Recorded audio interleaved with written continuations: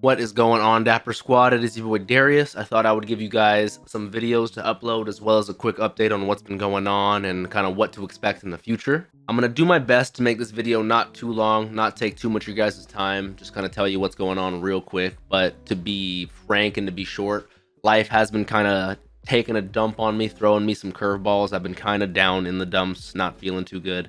Um, as some of you guys know, I was on a softball team with some friends broke my elbow playing softball, went through recovery process, everything went fine with that. That was an ordeal in and of itself. I'm sure you guys were aware of that. But in my final recovery process, going to the hospital, getting out of the sling, this, that, and the third, um, I told the doctor about the hand pain that I was having throughout the recovery, which was unexpected.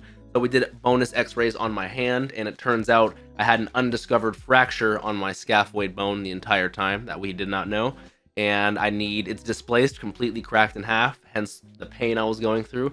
So I need to make a uh, need I need to have surgery.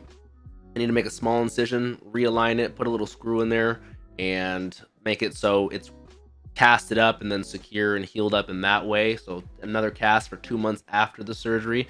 So that was some really bummer news. Plus the whole ordeal with my insurance. I had a surgery surgeon see everything lined up, already met, consulted everything, but it turned out that surgery, surgery and surgeon was out of my insurance network. So I needed to go through a whole ordeal of going to my uh, main doctor, getting a request for my insurance to meet with the new surgeon, going through that again, getting new x-rays, and then I haven't even gone through fully that yet. That's why I have this and not the surgery yet. And if that wasn't the worst thing with the medical bills and the, the procedure and taking too long, because if I don't get this dealt with at least urgently because we were already six weeks out from when it happened because I went through my whole recovery process and we did not know it was fractured. Um, if we don't get it dealt with accordingly, I de- I could deal with chronic wrist pain for the entirety of rest of my life. So I don't want that. So I'm trying to deal with this. I'm trying to, no matter the bills, no matter the money, this, that, and the third, I'm trying to get it done with.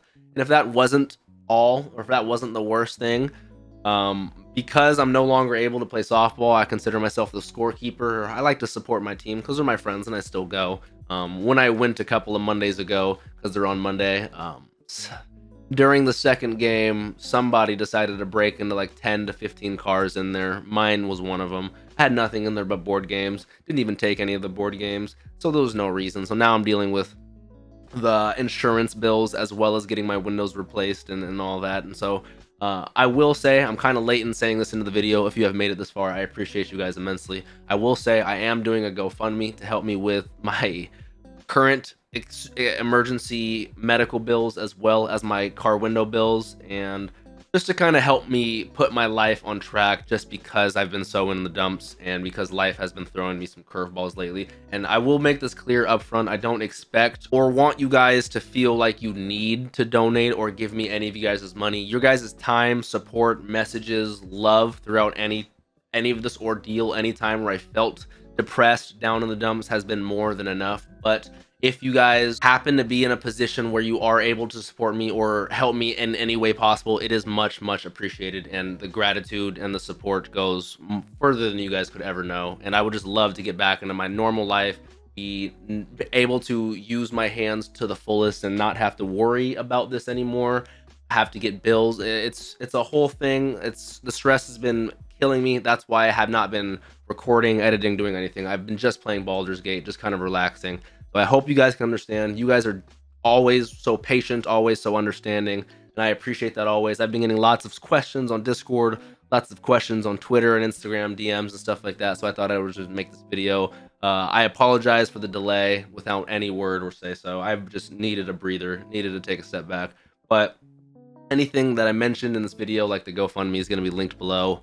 Uh, I should have some videos done. I've been wanting to get back into work. This with the brace has made the pain immensely better. Thank the Lord. It's called the thumb spica. It keeps my thumb because the scaphoid bone is the base of the thumb um, stable. So, but editing can be a nuisance. I have my keyboard lifted like almost 90 degrees on something, so I'm able to use this while my thumb is just like stationary. But uh, like I said, I'm gonna work through it. I'm gonna try to do my best. I appreciate you guys immensely.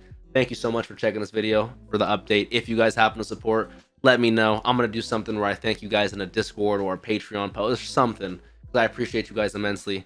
Um, have a great day. Expect more videos. I know Jujutsu Kaisen, the Shibuya incident's coming soon. I know a lot of things. Thank you so much. Have a great day.